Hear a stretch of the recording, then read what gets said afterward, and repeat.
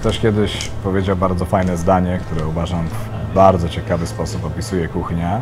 Tyczy się to przede wszystkim ludzi, których spotykamy na swojej drodze. Mówią, że w kuchni jest jak w Legii.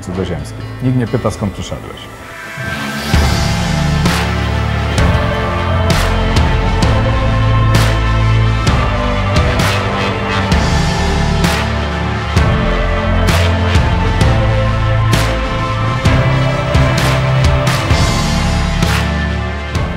Działa tutaj demokracja. I już wielokrotnie się wszyscy o tym przekonują. To nie jest tak jak na filmach, gdzie wszyscy robią wszystko e, w jakiejś tam fajnej, koleżeńskiej atmosferze i, i to wszystko się zgadza i każdy, każdy robi co chce. No to, to niestety tak nie działa. To jest trochę jak taka duża maszyna.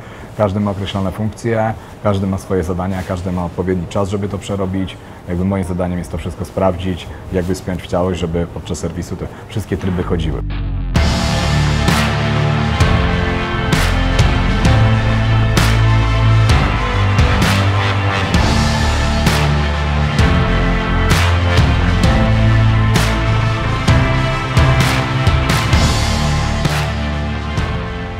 To nie jest tylko praca, jest to styl życia. To jest coś, co już powtarzam e, od lat. Bycie szefem kuchni nie jest tylko pracą. Bycie szefem kuchni jest stylem życia i trzeba się z tym pogodzić, że jakby e, twój normalny rytm jest totalnie zaburzony.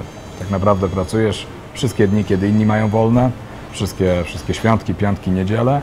E, Twój rytm zupełnie się zmienia. Trzeba się, się do tego przyzwyczaić, jeśli chce się w tej branży funkcjonować.